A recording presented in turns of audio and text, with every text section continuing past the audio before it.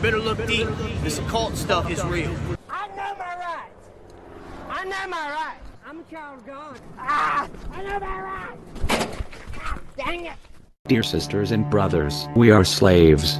We are being exploited in every possible way. We live under an economical system that transfer the wealth from the people to the pockets of the elites. Sadly, most of the population are still unaware of how the 1% are looting the rest of us. It's for this reason that in this video, I will reveal few of the many ways in which the New World Order elites are discreetly extracting our wealth. Yes. And the fact of the matter is that there's a refusal on both the Democratic and the Republican side of the aisle to acknowledge the mathematical problem, which is that the United States of America is being extracted. It's being extracted through banking, it's being extracted through trade, and it's being extracted through taxation. And there's not a single politician that has stepped forward, Susan, to deal with this. We could live in a world where the countries could issue their own money free of interests. But instead, a private banking cartel, through wars, threats, bribes, and murders, have taken over the issuance of currency, turning money into debt, and demanding it to be paid back with interests.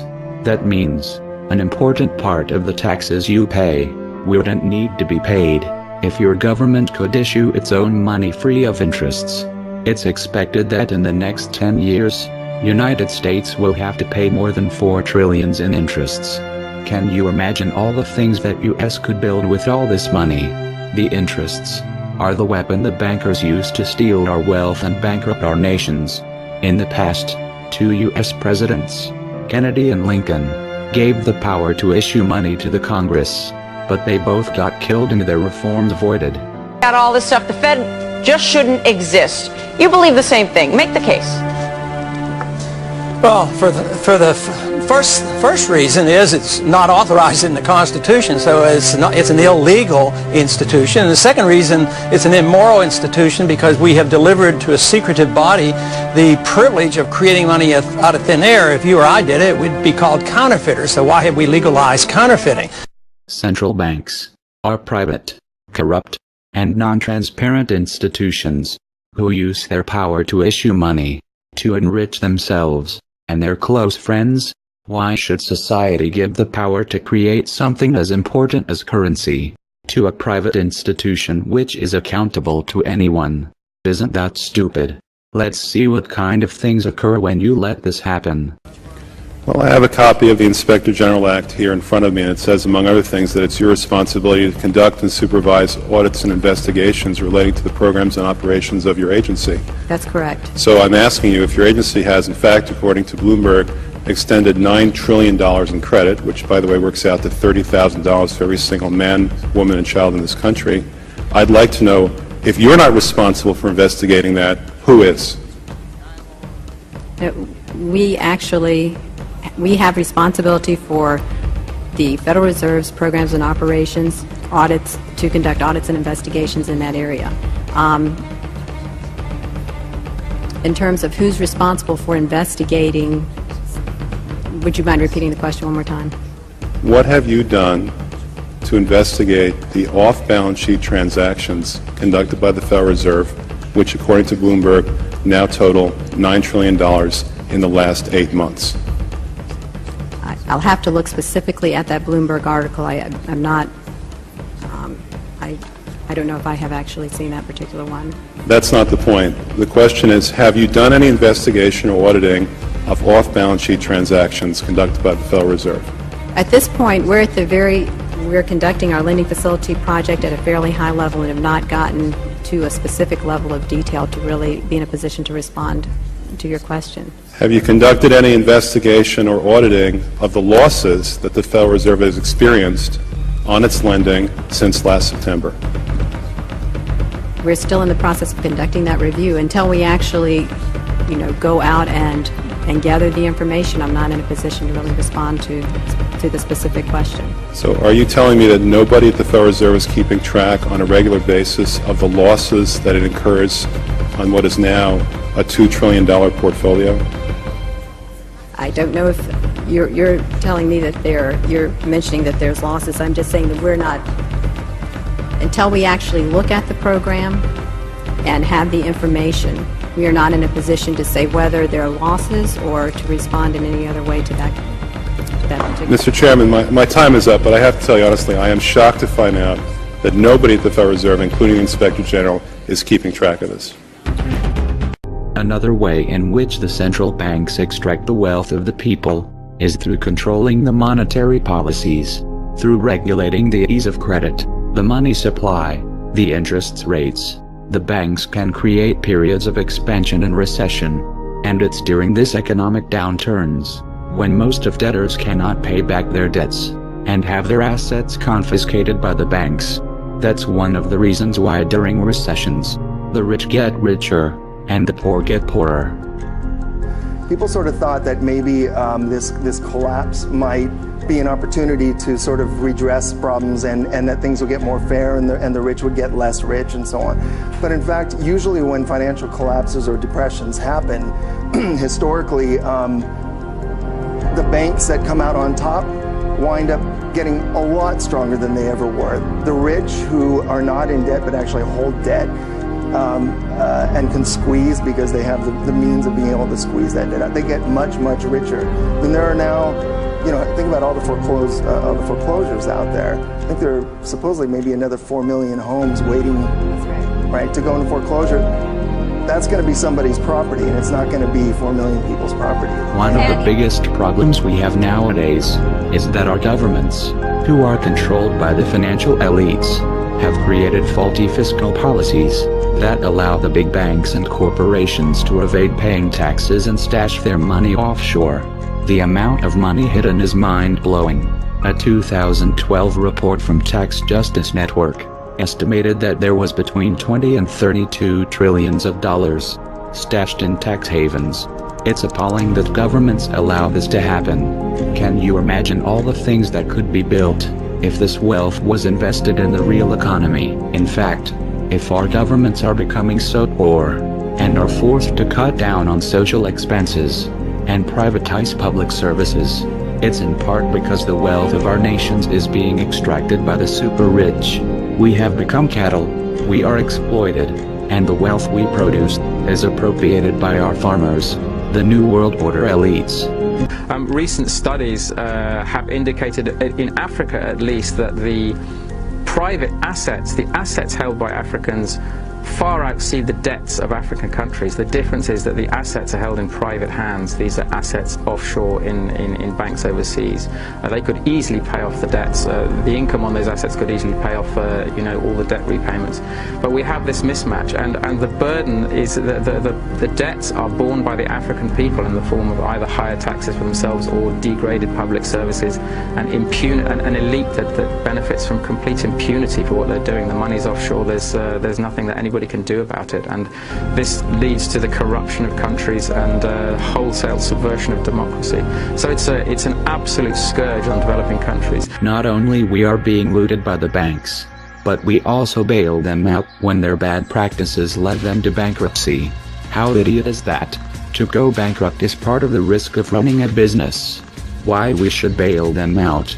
During the 2008 crisis, our governments have given trillions to the banks. Can you imagine if we had invested this money in building infrastructure for our society? Now our governments have become so indebted to save the banks that they do not even have money to look after the citizens. We're talking about $80,000 for every single American. Imagine if, if you're going to do a bailout, if that money had gone to the people directly instead of going to the banks who just hoarded it and bought up competitors with it. They had no incentive to refinance mortgages or refinance loans of any kind. They just kept the money, gave themselves bonuses, bought up competitors, and are sitting pretty. And they're not loaning money. People are still broke, and the economy's still in a recession and will be. And on top of that, they've inflated the dollar by the government printing up money, took our taxes, and gave it to banks who loan it back to us with interest. Besides, according a new law passed recently, in the next crisis, the banks will have the right to seize the money of the depositors to prevent bankruptcy. So you have been warned. Make sure you don't have tens of thousands of dollars deposited in bank accounts or you run the risk to lose most of it when the next derivative bubble will burst. Another way to loot the resources of a country is through implanting structural adjustment reforms. When a country have a crisis of debt, the International Monetary Fund and World Bank can act as lenders of last resort, but in exchange, they will demand the country to do some reforms, which entail privatizations, devaluation of currency, cut subsidies to local industries, remove tariffs, banking restructuration, which are reforms that will deliberately impoverish the country and allow foreign private corporations to enter in the markets and loot the country's resources.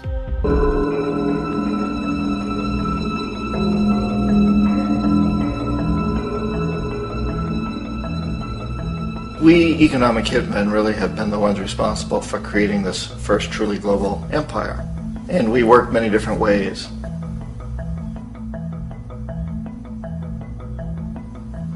But perhaps the most common is that we will identify a, a country that has resources our corporations covet, like oil, and then arrange a huge loan to that country from the World Bank or one of its sister organizations. But the money never actually goes to the country. Instead, it goes to our big corporations to build infrastructure projects in that country, power plants, industrial parks, ports, things that benefit a few rich people in that country, in addition to our corporations, but really don't help the majority of the people at all. However, those people, the whole country is left holding a huge debt. It's such a big debt they can't repay it, and that's part of the plan that they can't repay it. And so at some point, we economic hitmen go back to them and say, listen, you lost a lot of money, can't pay your debt, so sell your oil real cheap to our oil companies.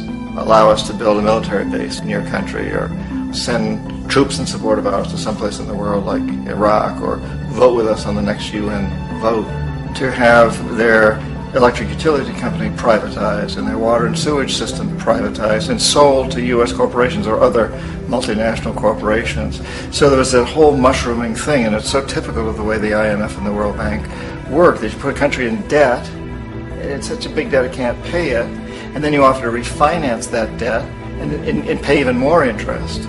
And you demand this quid pro quo, which you call a conditionality or good governance, which means basically that they've got to sell off their resources, in, in, including many of their social services, their utility companies, their school systems sometimes, their, their, their penal systems, their insurance systems, to foreign corporations. Another tool used by corporations to enslave humanity are the free trade agreements.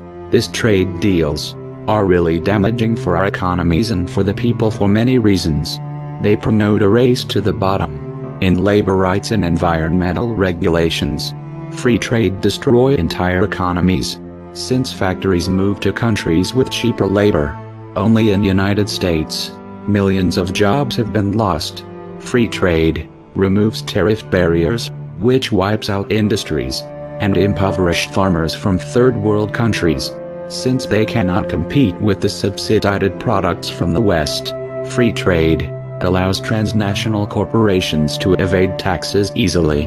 And to make things worse, most of the trade deals come with a clause that allow foreign investors to sue the countries if they approve any regulation that can undermine the earnings of corporations. Let's see some examples that showcases of governments being sued and forced to pay generous compensations to the corporations, or forced to repeal their regulations. Among other things, corporations are suing to block a raising of the minimum wage, block health protection measures, overturn a ban on toxic waste dumping in a drinking water area, block compensation for victims of apartheid, block the repeal of water privatization, or block the terms of bank bailouts. As we have seen dear sisters and brothers, the elites have created an economical order that extract the wealth of the 99% and give it to the 1%. We could live in a world where we all could be rich, but instead, half of the world population subsist for less than $2 a day, while others earn millions a day. I hope this video have helped the viewer to realize that we are being enslaved, and unless we stand up, dark times will await for us. We are anonymous. We do not forgive, and we do not forget. So, expect us. Well, I'm not going to leave you alone. I want you to get mad. I don't want you to protest. I don't want you to riot. I don't want you to write to your congressman because I wouldn't know what to tell you to write. I don't know what to do about the depression and the inflation and the Russians and the crime in the street. All I know is that first, you've got to get mad. You've got to say, I'm a human being. God damn it. My life has value.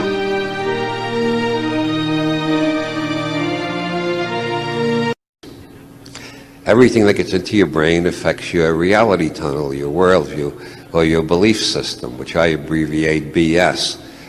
The, the, two, the, the, the three major things I've been trying to teach in all of my books is never believe fully in anybody else's BS.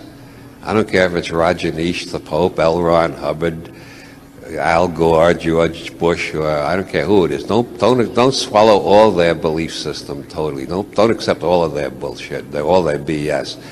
The second rule is like unto the first. Don't believe totally in your own BS, which means that, as Bucky Fuller said, universe consists of non-simultaneously apprehended events. Non-simultaneously universe consists of non-simultaneously apprehended events, which means any belief system or reality tunnel you've got right now is going to have to be revised and updated as you continue to apprehend new events later in time, not simultaneously.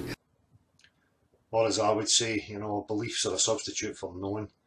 They're just mind viruses. So I'm, I'm sharing a couple of these um, talks and, and people quoting and stuff because um, it was part of my journey. Um, I mean, these these people are the be all and end all, but a lot a lot of things that are said, you know, for me help to to trigger and help me to move on, progress within my own mind. Um, so by by no means are any of these people, you know, the be all and end all. And obviously, you know, guys like Anton Wilson and Jacque Fresco, who I'll, I'll put on at the end of this this um, talk, um, you, you, know, a lot, a lot of these things are coming from a place of thinking that you live on a globe. And as I've said many times, you know, a lot of these things change. You know, you, your whole paradigm, your whole way of thinking can shift, you know, because the foundations you have were false. So, um, again, you, you know, I'm not resting on any of these things. You know, for me, there's... The, whole game just seems to be rigged to, to stop you from exploring. There's something significant there. Um, and I know I'm like a broken down record when I say it, but you know, for me that's it. Until we can establish where we are, all these ideas about life, you know, are just pissing in the wind. So, you know, that's, you know, I've wrote down here that, you know, that's where they're coming from. You know, they're trying to work out and come to come to conclusions based on where they are, where they think they are. Um, you know, but you know, a lot of their points are brilliant and spot on as far as how we're thinking and stuff. So, um, what was I going to say here? Yeah, um, and that was just basically it. You know, beliefs are a substitute for knowing. You know, don't believe anything. You know, we don't have to believe things. We can find out. You know, you've got that the tools. You've got you've you've got the questions. You have the ability to question. So for me, you know, if I'm questioning what is this place, you know, for me, there's there's an avenue to find out what this place is, where we are, and why we're here. Um, don't let anybody try and take you away from that. You know, as I say, the whole game for me is, to, is, is rigged to keep you in bewilderment and ignorance.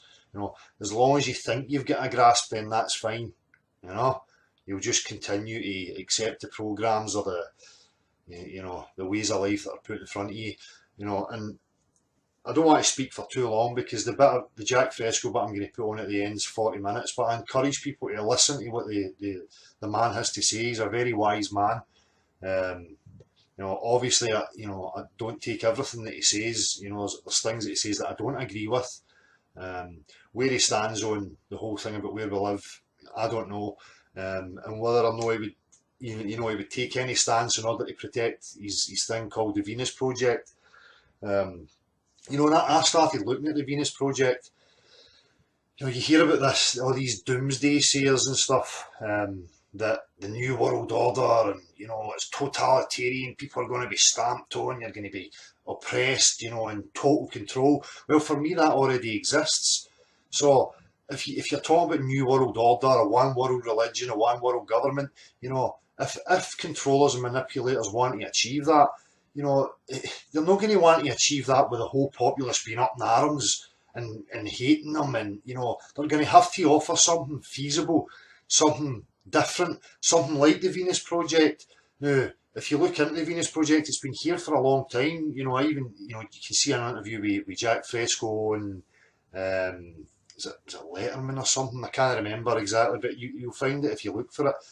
You know, and that's been for the 70s. I'm not going to say too much about what the Venus Project is, but it's basically a resource-based economy. Now, if I'm manipulating and I'm controlling and I want to keep everybody in control, um, once I build everything up into a crescendo, the Venus Project would be something that you that, that you could offer, you know, a way of life for people that they would maybe jump on and accept because you know it's about resources. It's it's not about working, slaving your ass off. Um, again, I'm not going to say too much about it. I encourage you to look into it yourself. Um, but as I say, you know, if there's a plan for a new world order and a you know all that that stuff, the whole conspiracy thing, and again, I'll reiterate it. For me, that already exists. You know, it's not something that's going to begin at a certain date. It's here. You're already living in that. But they know people are going to get to a point of awakening because they just can't take it anymore. So if they want to maintain control, they're going to have to offer in, you know, different ways of life. And the Venus Project for me could be one of the ways of life. Not a doomsday thing, you know, something that people will jump on board with and oh progression. As long as people only thinking let's explore the full the full area, you know. So and again, I don't agree with everything that the guy says, but he's a really clever old man, you know, and he and he helped me some of the things he said, you know, and that's the whole thing about this whole conspiracy thing. Many of the things that I learned about, you know, it wasn't about um, retaining all that information. You know, you just had to perceive things in a different way, or the information that was being put to you would open up new avenues in your mind, and that was it. They were like keys. As long as the keys to new perceptions opened the, the, doorways up, that was it. You know, I didn't have to dwell on what David Icke said or what any of these philosophers said or anybody else said. You know, if they said something that made me see things in a new perspective, then that was it. The, the, the door was opened and that, that's fine. You know, you let it go. Um, because again, there's a lot of things in that that are just unproven and, you know, it's just philosophy, which again is based on, for me, we don't know where we are and, oh, what's it all about? You know, let's clutch at straws and make stuff up. Know, it's fucking nonsense. Um, so, although, you, you know, and, and when, I, when I share the Jacque Fresco thing, again, if it turns out that we're confined here and this is the only place that we can live together, then the Venus Project for me would be something that would, you know, I could go on board with. But um, again, I don't think, you know, that's the be all and end all. You know, it's not about us trying to figure out how we live here together. There's something else there to be discovered. Um, and I've said it before, even to religious people, you know, you talk about ideas about God. You know, the only way I could get on board with a God is if he wanted equals, right? Now, if he wants equals, then, you know, you have to learn everything yourself, you know. And, you know, if your God might be waiting for you to realise the game, to leave the fucking trap, you know, to go there, who knows, you know, you know, the whole talk about God and what it means is, is a whole other subject. I'm not going to get down that avenue. Um, but before I share that that last video, um, there's a couple of things. Um, you know, I've kind of pulled back recently. You know, I've not been chatting to people so much. You know, I've had other things going on in my life, so I, I apologise for that. Um, you know, sometimes you just need to take time and get things in perspective. It's, it's quite a draining process, and you know, that, that's another subject that, you know, my wee mate Stuart, you know, I was talking to him the other night and, you know, he's like me, he's at a place of total disillusionment and sorry, I need to, there's somebody coming with a parcel here, apologise. Oh, Alex, here's every time I'm meeting with you, you always... No, I just came in the door there, mate. Oh, did they just come there just now? Aye. Alright, I had a wee later thing. Okay. Alright, thank you very much, mate.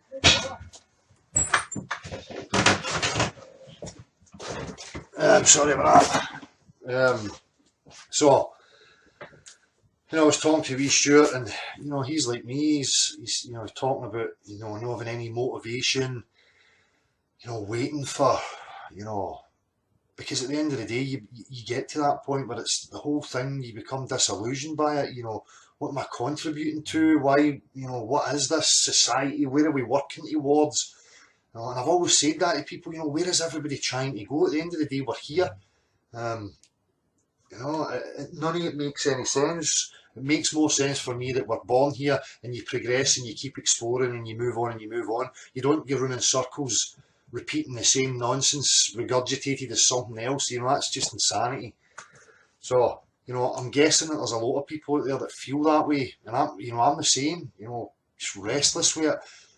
You know, like, where do I put my attention? What am I putting my time into? Obviously, my kids, but even I look at them and I'm saying, you know, I've, I've contributed to bringing you here. You know, what is this fucking place? You know, and and you know when I see like my mate like Stuart, you know, and other people feeling that, you know, the time has come now. We we need to know where we are. That this is getting beyond a fucking joke now. Um, we don't need to live in ignorance. We don't need to live in bewilderment, right? And I get it. I'm no one to contribute to this whole fucking thing, you know, because it's just crap. It's unfair unbalanced. So, you know, if there's people out there that feel that way, then, you know, the, the rest is, well, no, the rest is, but there is others who feel the exact same way. Um, you know, sitting waiting, you know. And, and I even said it, you know, I say that to Stuart, you know, sometimes I get to the moments where I think, do you know what? I hope there is a higher intelligence or some sort of mind that's going to come and make this better because it's a fucking nightmare. But you know, I'm not going to rest on that. You know, you get the weak moments where you, you, you do feel that. You know, I feel like, you know, we can get ourselves out of this. And it's not as hard as people think it's going to be. You know, I've been constantly trying to put the tools out there and how we can get out of this mess. You know, it's just whether or not people people see that and people come to that conclusion eventually. You can only hope. Um, and that takes me on to Davy, you know, Antarctic Warrior. Um, you know, and he, I seen him yesterday getting pissed off with this research, and it's a, it's the truth. Research, research, research. What are we researching? None of you know where the fuck we are. All this stuff that's put in front of you is just, you know, nonsense. People clambering, people's guesses, disinformation. It's time for it to fucking end. You know, there is no research.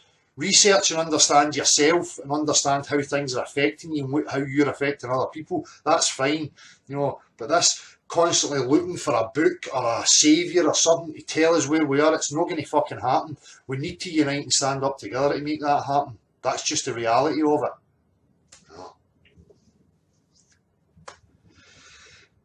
You know, people leaving this, oh, it's end times and the biblical stuff, you know, fuck all that waiting, waiting, waiting. As I say, you know, these manipulators could be playing out this whole biblical thing. You know, build it to a crescendo so that when people are in such a state, they offer you the solution, which could be things like the Venus Project, you know, or um, we're in the dome, we can't get out, it's God's creation, therefore we're all under one religion. You, you know the whole story, you know. I'm not buying any of it. Um, so I totally sympathise with Davey with the, the whole research thing and getting pissed off, and it's great to see you getting pissed off, you know, because that's the truth. And the sooner people come to that, the fucking better. You know, look at the amount of these videos. It's just regurgitating the same fucking crap over and over and over. Nothing taking us anywhere. You know, people say, "Oh, you want to explore? Go and explore yourself." I, I have not got the resources to go and explore myself. You know, you need people wanting that. You need to convince and offer it to people as something exciting. It is exciting. You know, discovering where we really are. You know, the adventure of life again. You know.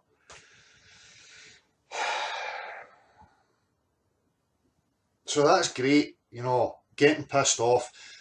Uh, you know, I don't know why we're not seeing more channels bigging up exploration. You know, bigging up and being proud to know that we don't know where we are you know, and not being afraid to admit that and getting rid of all the fucking crap and keeping the message pure and simple. Um,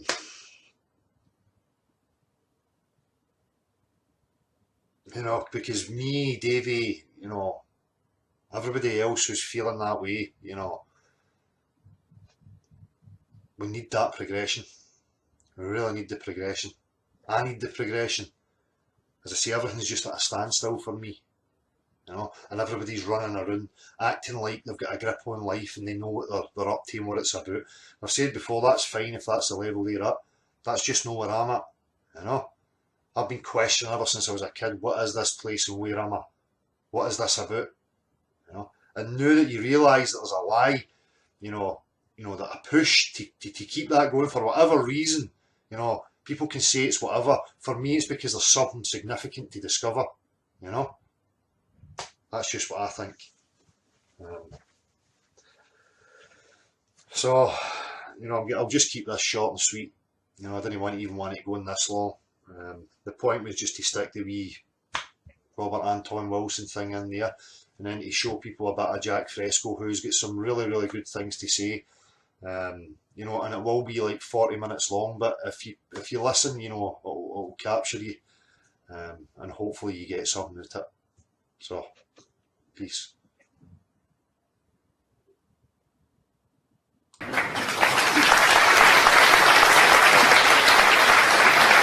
Frankly, I've never met a Christian that forgives people, that loves their enemy, that turns the other cheek, that has no locks on the door. When a hungry person knocks, they bring him in saying, do unto the others as you have others do unto you. I've never met a Christian.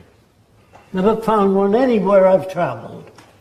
So the point is, all of us need security. All people all over the world need clean air, clean water, arable land, and a relevant education.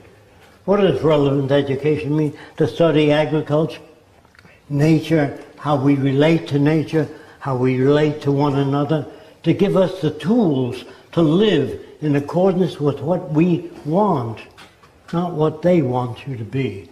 They want you to be patriotic. That means they want to control you.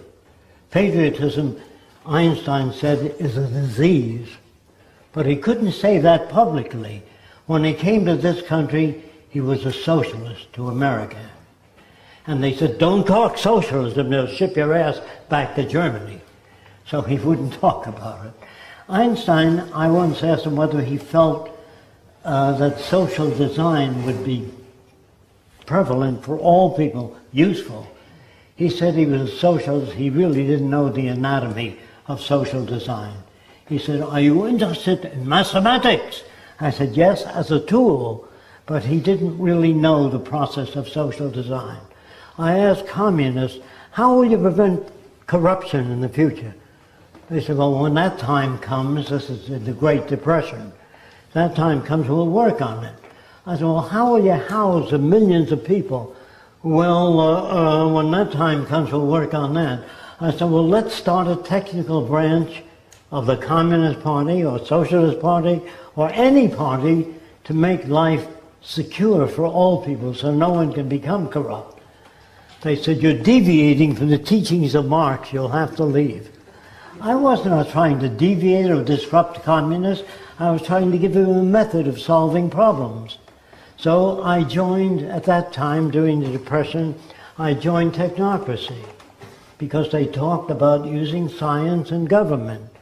But there were no blacks in the organization. And I said, How come there's no blacks? They said, Well, let them start their own section. I said, well, what about Orientals? Does the, the Oriental mind can't grasp technology? Well, of course, as you know today, they lead the world in robotics. So all our thoughts about different kinds of people are lies. They're not real. We have to understand that all people tend to love their kids. All people want their kids to be better educated. All people want to know about nutrition. So let's say the drug companies were really sincere and they found out that celery juice lowers blood pressure. You can't make any money selling celery juice, could you? But you can get two bucks for every pill you sell. So there was a book written many years ago. I also like to know how many people ever heard of it. A hundred million guinea pigs. How many of you heard of that book? It should have been in every library. It's not. What did a hundred million guinea pigs talk about? The lies put out by the drug companies. And the People of America was a bestseller, by the way, in America years ago.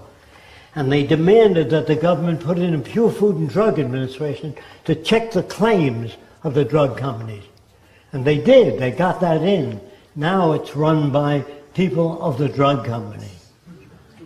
Everything becomes corrupt. Everything we touch.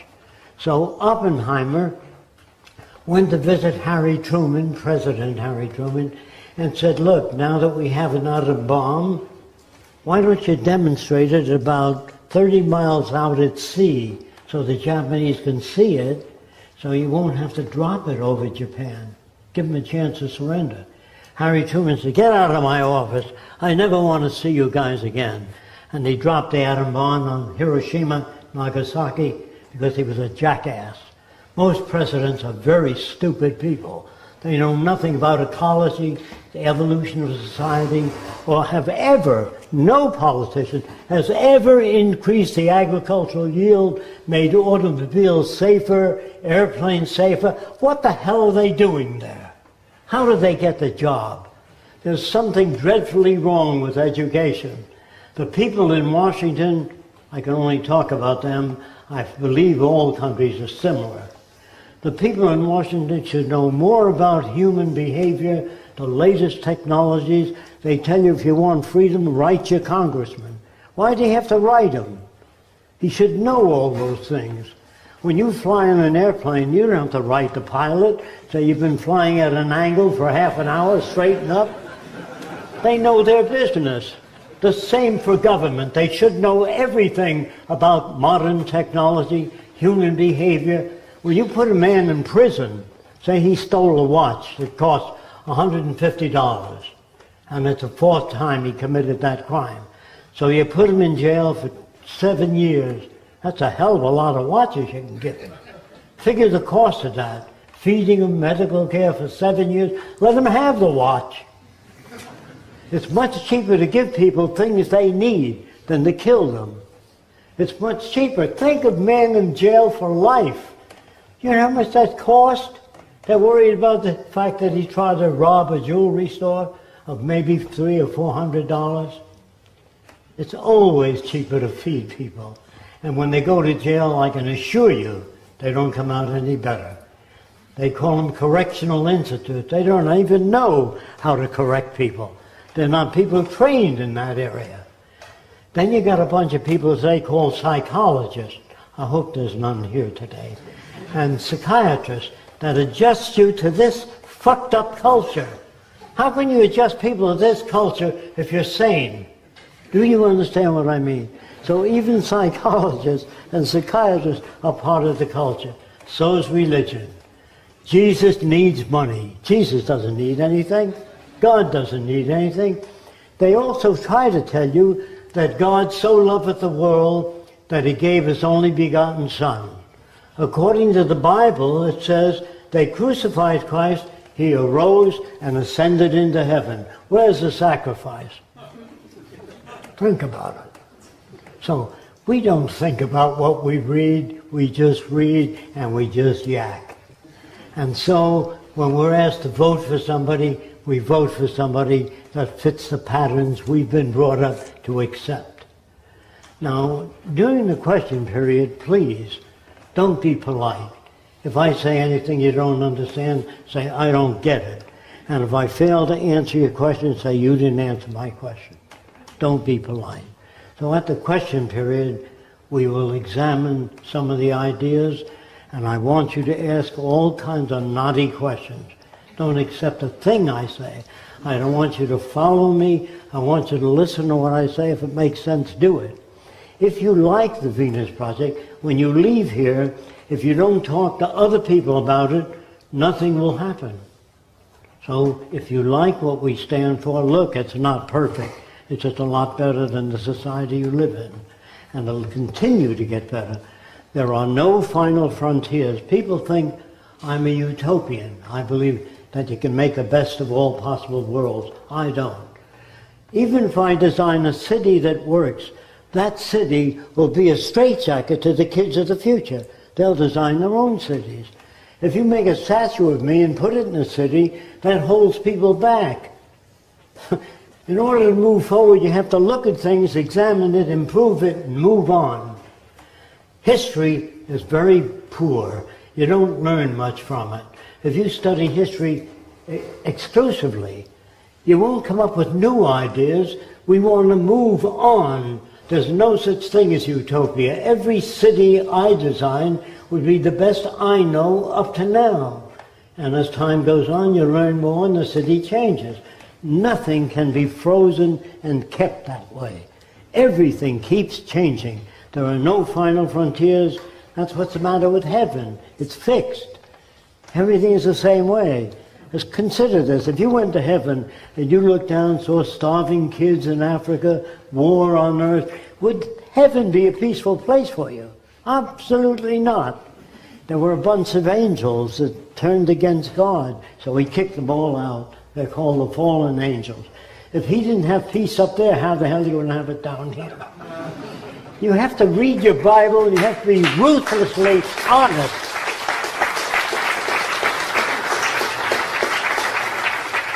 If you're not honest, it won't work. It says in the Bible, judge not, lest you be judged. That means don't judge anybody. You don't know enough about what made him that way. It also says in the Bible, therefore, by the grace of God, go I. That's anybody you see in a wheelchair, blind, all of us. That can happen to all of us. They don't know what to do about it. In 1927, I came up with a little idea which I got from bats. Bats can fly at night and not hit anything. How do they do it? By sound. So I made a little gadget that would fit over a person's ear and generate sound waves so you can hear an open door even though you're blind.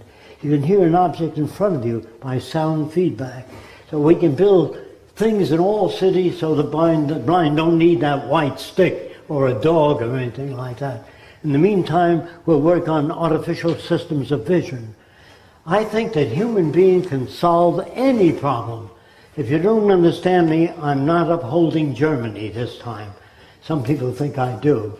We formed a blockade to prevent the Germans from getting rubber, but they had enough technicians to make synthetic rubber. So they made all the rubber for their airplanes, everything out of their own chemistry. So with technicians, not in charge. Understand, I don't want to see science in charge of government or technicians. What I want to see is their assignment to problems such as agriculture. When you, when you can grow food twice as fast on the soil, you exhaust the soil. So we want to know how to grow food faster without exhausting the soil. The United States Army dumped 65 tons of nerve gas into the ocean off the coast of Miami, near the Gulf Stream. How can you love the country if the Army did that? They don't know what they're doing. They say, we want you to dump nerve gas. Yes, sir. We don't want obedient people anymore. We want you to understand what's happening. We don't want you to vote for a senator or some other jackass. They are incompetent, all of them. I want you to understand Everything that you have today is your electric lights, your airplanes, your automobiles. You had nothing to do with them. You got them just being born in a country that had that technology. You got it for nothing. I don't think any of you here worked on the electric light or radio or television. Very few people. So you got all that for nothing. Does it hurt you? Of course not. They said, well, you don't want to give people things for nothing, do you? This kid said that to me at Princeton University. Fresco, you want to give people things for nothing. So I said, are you paying your way through college? He said, no, my dad is. I said, does that hurt you? This kid said to me, he still doesn't believe anybody ought to get things for nothing. So I said to him, well, as I understand your father is wealthy. If he dies, you want his money to go to the Heart Fund and the Cancer Fund, but not to you, because you don't believe anybody ought to get anything for nothing. He said, just a minute now. Everybody wants things for nothing. You got the earth for nothing. You were born here. Beautiful scenery, clouds. You didn't make any of that. Does it hurt you? Of course not. But when you're born in a polluted world with smog in the air and automobile pollution, say, I guess that's the way it is. It isn't that way. It's because the people in charge of government are totally incompetent. So what you really want is a world free, free of burden, pain, prisons, police, crime. Can we do that? The church has been trying to do it for years. They don't know how.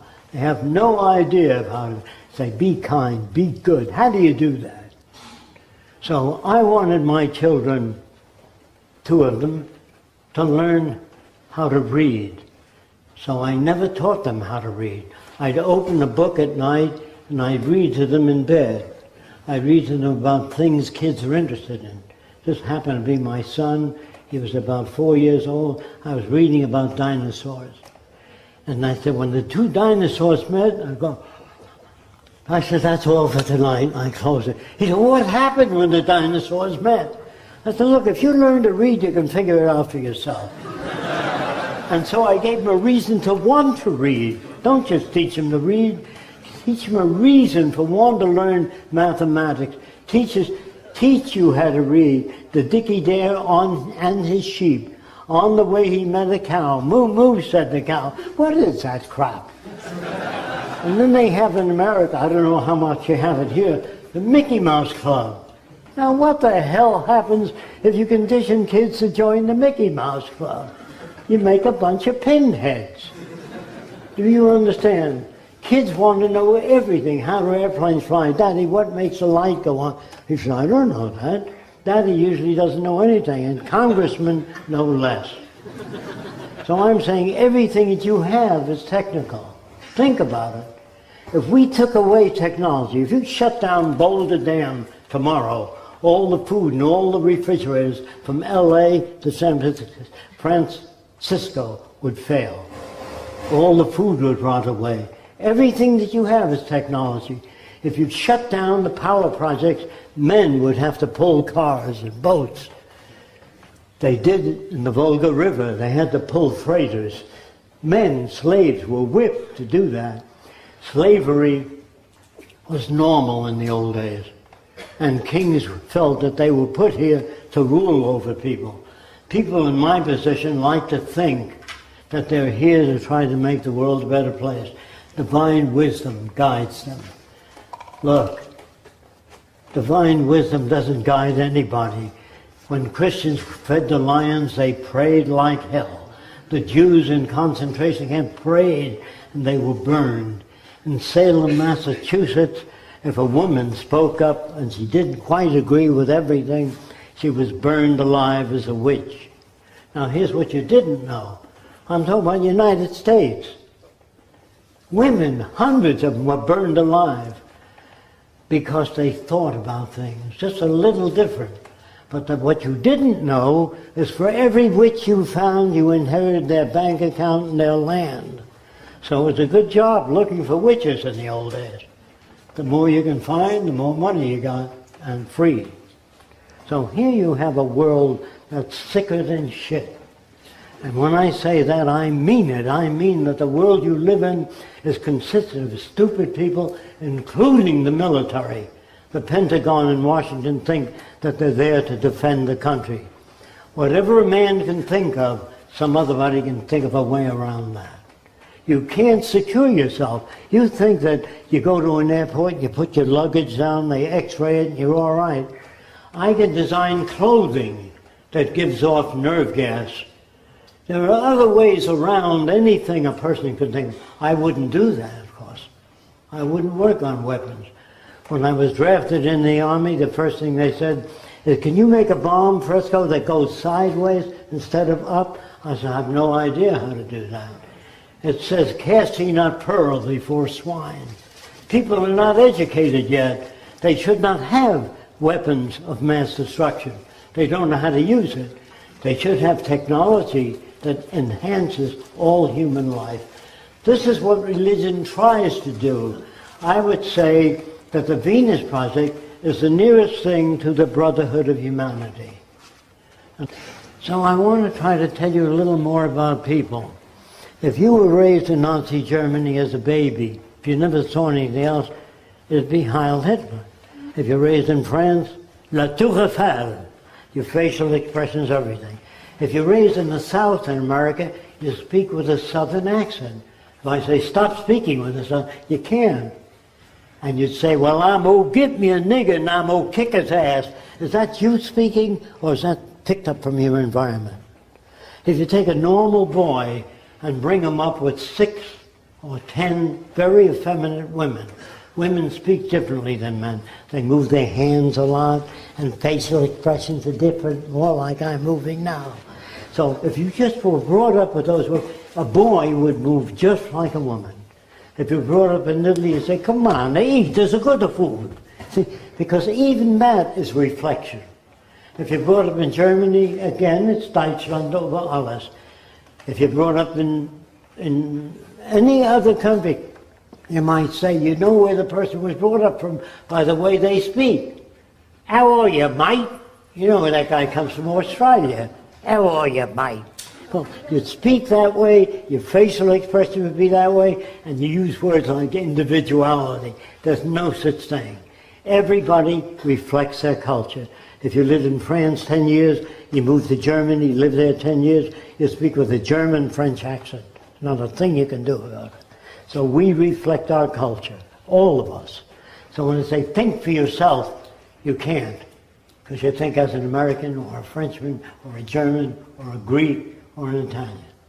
So really, when Germans speak, they speak when they come to this country. They speak and say, well, I give you some idea of what happened. That's the way they speak. They pick it up. It's a course between German and English. I worked for a guy named Ernst Udet, who was a ace of World War One. He shot down 71 planes. Since I worked for him, I said, how did you shoot down 71 airplanes? Maybe if he shot down five or six, that's possible. But how can you shoot down 71 airplanes? He said, what's very easy, Frasco. That's the way he spoke. He said, I would fly above the squadrons and I'd look for a rookie, a bad pilot that know how, and I'd pick him off. So is he a good man? Is he kind? Is he human? Same with Eddie Rickenbacker. They always fly above the squadron and look for guys that can't fly too well and pick them off. That gives you a lot of medals, a lot of X's on your fuselage. So when you're brought up, you're brought up, so a lot of people go to church and says, thou shalt not kill. And so it's hard to get people to enlist in the army. So they give Japanese or Chinese Americans false teeth. And they make a movie by Frank Capra called Why We Fight. And it shows these Japanese kids raping a woman, and the enlistment goes up 75%. You have to teach hatred to have war to, go, war to be a working system. And army men, unfortunately, 10 years after the war, that's the most exciting time of their life. And they always go back and they join the American Legion and they talk about the days they shot these goddamn slanty eye bastards. And the Germans were called Krauts, not human beings. So we shot them too. See? So soldiers are killing machines. And if you want a world without war, people have to be educated to understand that all people need the same thing good food, healthy living, a relevant education, not killing. Because war only produces hatred over the years. They remember that you killed their kids, their parents, and they want to get even with you. And some people say to me, I'm just imitating them. Why are these goddamn North Koreans building rockets? And why are these Chinese building big armies? They're a threat to us. But uh, again, I don't want you to take my word for this. There's a newspaper in England called The Telegraph the London Telegraph. And in that newspaper, they ran a headline about seven years ago. The U.S. intends to bomb seven countries, nuclear bomb, sneak attack on seven countries. It names North Korea, China, all the countries we don't like. Headlined in the Telegraph. You haven't seen that, so write for it. Don't take my word for it. When you do that, if China said, we intend to bomb England, France, United States, and some other country, we would arm to the tooth.